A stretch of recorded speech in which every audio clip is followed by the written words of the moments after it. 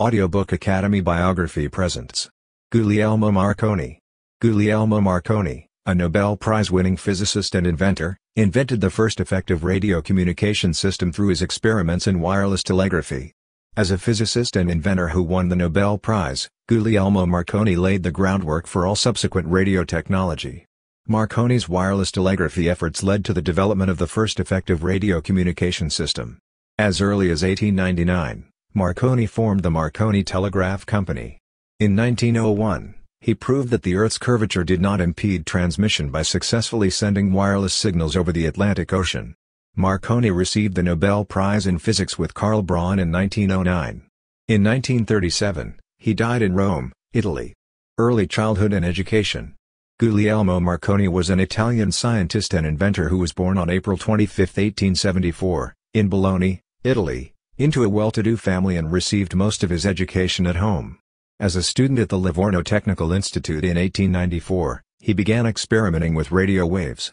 He was able to construct a basic wireless telegraphy system by incorporating the earlier scientific work of Heinrich Hertz and Oliver Lodge in electromagnetic radiation.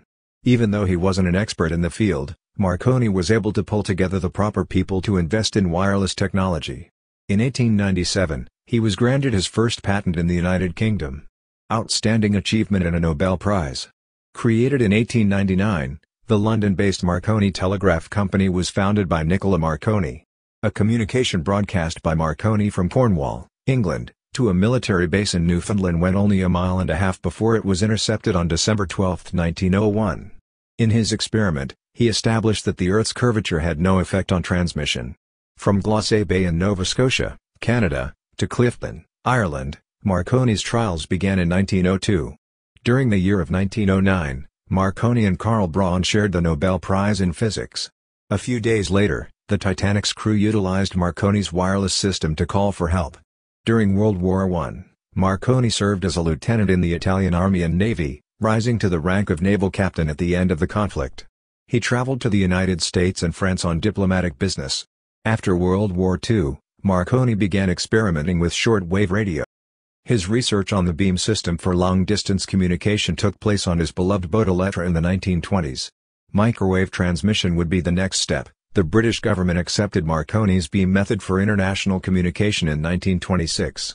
Furthermore, Marconi had a key role in the establishment of the British Broadcasting Company, which was created in 1922 as a result of his revolutionary wireless communication research. Among other things, he was a pioneer in the field of radar. Death in later life on July 20, 1937, Marconi died of heart failure in Rome, where he had been working on a radio project.